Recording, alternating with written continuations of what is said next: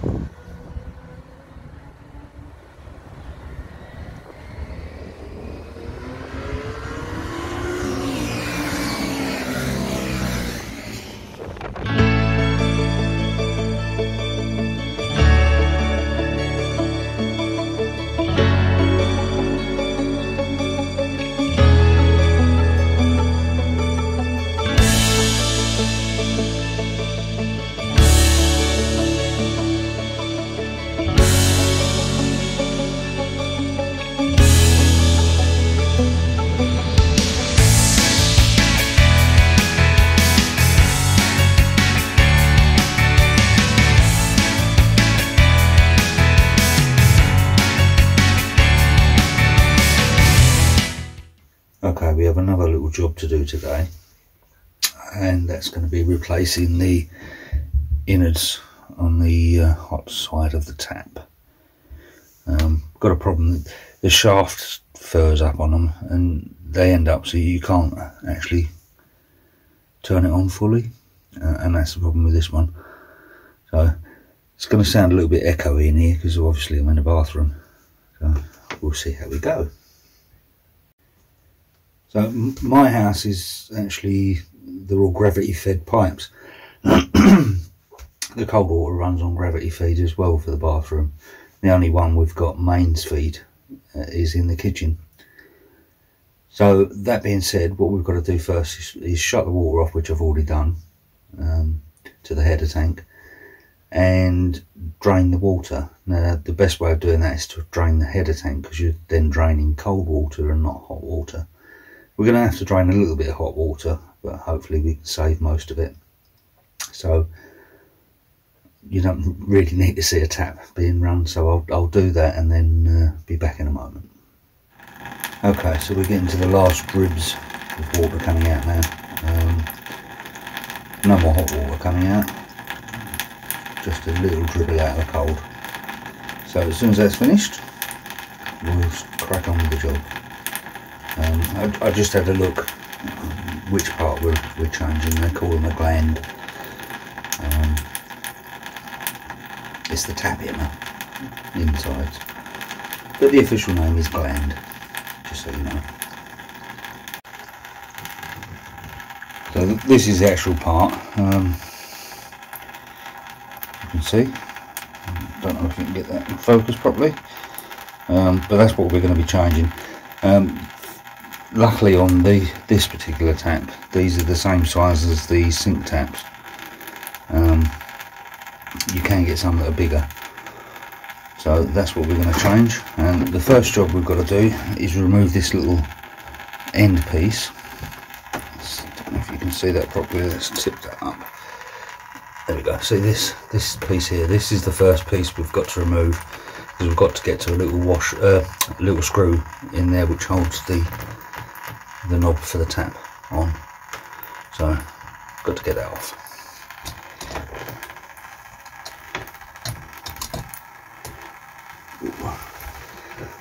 Okay.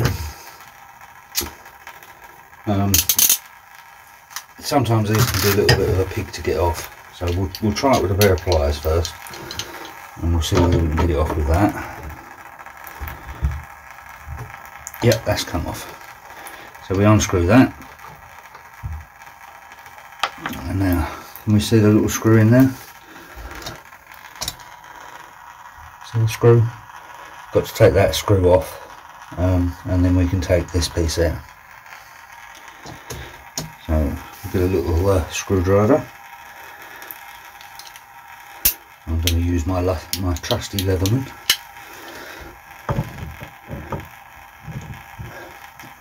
Sure how easy it is for you to see that with my hand in the way. Take the screw out.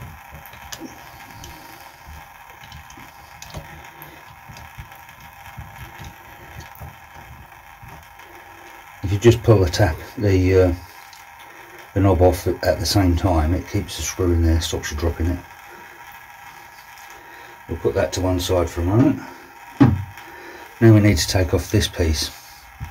Now these, the various different sorts on these, um, some of them just clip off some of them screw off. I believe this one screws off. So we'll try and get that off now. Okay these can be a little bit tight. Um, sometimes you have to get a spanner on these uh, something along the lines of one of those and what you do is you wrap it with a towel or piece of toweling or something to try uh, to protect the chrome on there before you put that over the top. Um, otherwise you, you just chew your chrome up and you'd be very very gentle. Luckily this one will turn without.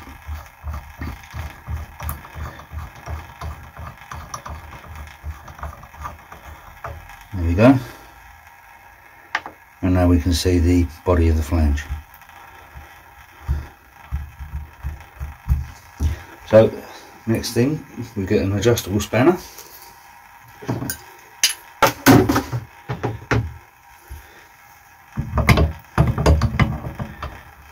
Get that onto there.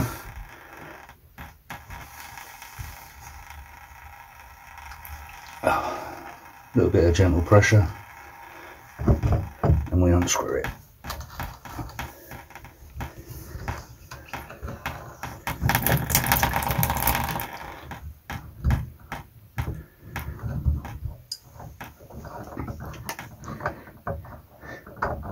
These are actually the original ones um, that came with the tap. And I've had that tap on there ooh, 10 15 years something like that. So it's done well Okay.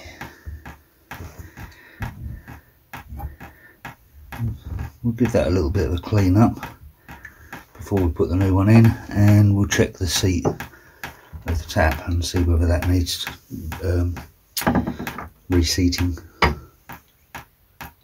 Okay, before I do too much, I just want to get a light in there um, and have a look.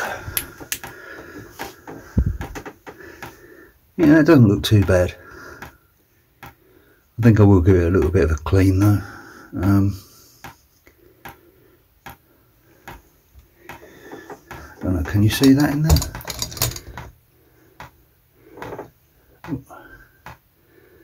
You can see isn't it's not too bad. Not bad at all. Okay.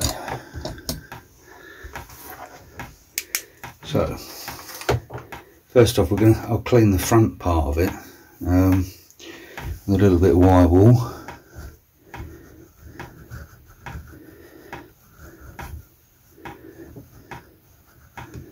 You don't want to go too far with this um, especially with these chrome taps. You don't want to uh, be wire walling on chrome. Doesn't do it any good whatsoever. We'll give that a clean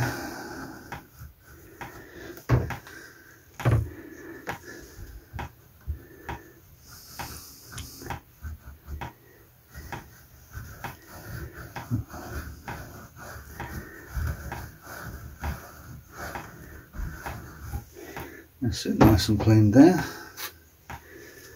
And I will just use a cloth. Um, these are cheap um, microfiber cloths from Costco's. I've got hundreds of them.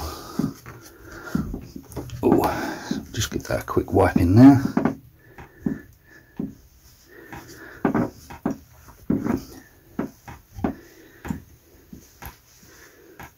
And there we go.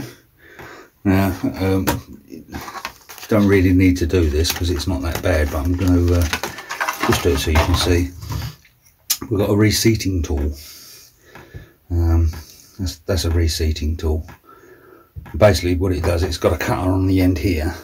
We screw this into the head, into the body of the tap, and then we use this to work backwards and forwards and recut the seat. So it just goes in there like so. Only needs to be finger tight. And then we push that in, just give it a turn backwards and forwards.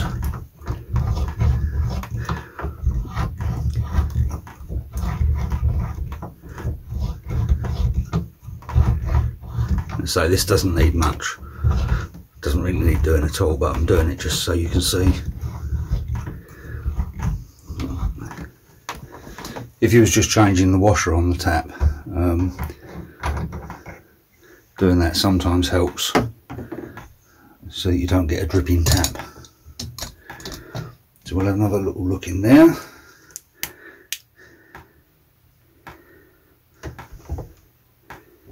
Not too bad at all. Wipe out get rid of any of the little gritty bits that I've left in there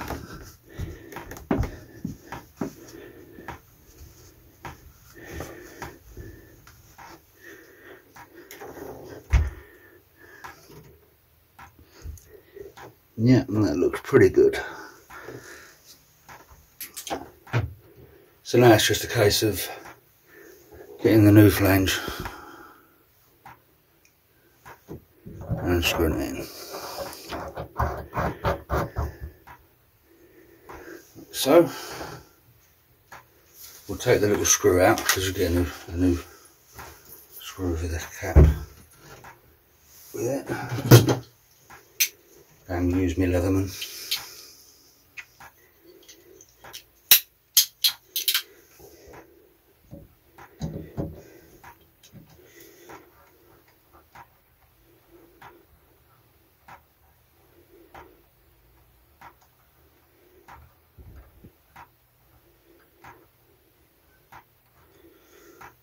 That to one side.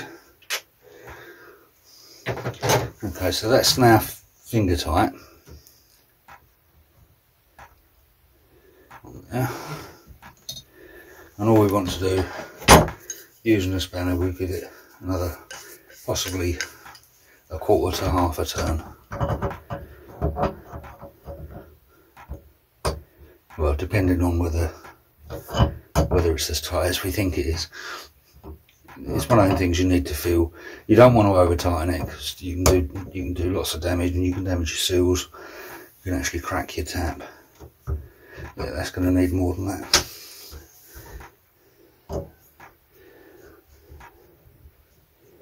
And what it's done at the moment is just hooked up on the seal. And we need to just turn that in.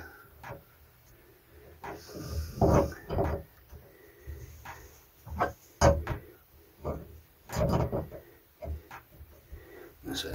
If we use the spanner that way round, like that, and then just use the head of the spanner, um, when you're tightening it, that stops you putting too much force on it we can then go to the other side like so and keeping your hand still down this end you don't don't want to come up here um, you don't want that amount of leverage. You just give it a little nip. There we go. And that's about as tight as it needs to be. So now it's just a case of putting all this back on the front. So we, again we start with the cover.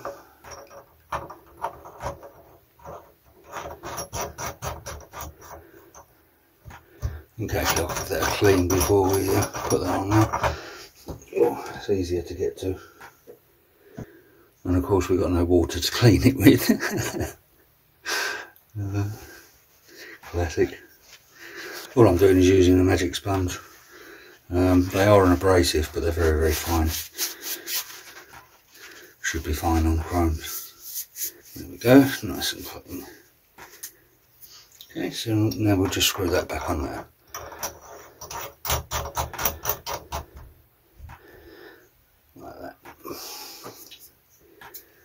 Um, now we get the head of the tap, the knob of the tap, place that on.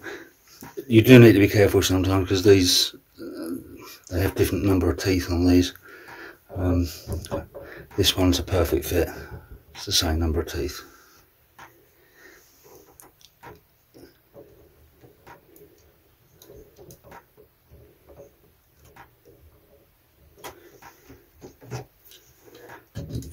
Screw it up.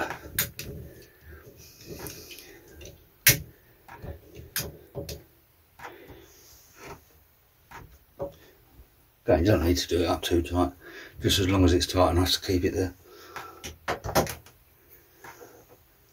And again we put a little end cap on. And that's the job done. Right, we'll just fill up with the, fill the tanks back up with water and uh, give it a try. Okay, so the tank is nearly full, um, certainly full enough for me to test this tap. So, oh, we just turn the tap on. Yeah, that's running fine. A lot better flow than I was getting from it. And turn it off. Again, don't over tighten your taps when you're turning them off because all, all it does is damage the washers. So just turn it off until it stops. You don't need to really sort of lever on them. And that's it. Job done. Well, that's another job jobbed, as they say. Um, very, very quick and simple job. Um, nothing difficult in that at all. Anybody could do it. As long as you take your time, don't go mad, don't put loads and loads of faults on. Um, do things nice and steady and gentle. You can do pra practically anything. Um, and if, if my videos encourage you to have a go, then all the good, all the good. Um, hope you enjoyed it, and I'll catch you on the next one. Bye for now.